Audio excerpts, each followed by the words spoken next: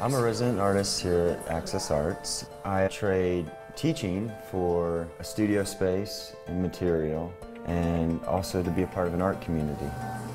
Their mission here is to provide a creative learning experience for everyone. So I felt passionate about that same mission and that's what led me here to Access Arts. What drew me into art was wanting to do something that made me happy, which I feel like could affect other people and make them happy in their life. That's why I've been making a movement to do a more community driven project. Working more with people and sharing the art experience with everyone. First, we came up with this idea that we wanted to do this project here. And then we found a site with the fire department. And then we came up with the idea of the concept so it could relate to them and relate to the spot that it's on.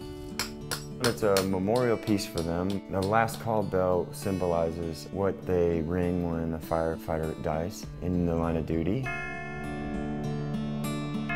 We're also using fire under a celebrating kind of circumstance with the community. So I think that that opportunity will provide a nice relationship with the project. I'm building a really large bell. I'm building it on top of a brick kiln. Around the exterior, I'm gonna wrap this pipe fire fiber blanket, and then I'm gonna put propane and gas into it, and then I'm gonna put wood into it, and then this thing will heat up. And then we're gonna remove the fire blanket when it's really hot. The sculpture's gonna glow at nighttime, so it's gonna be like this glowing bell that has flames coming from it.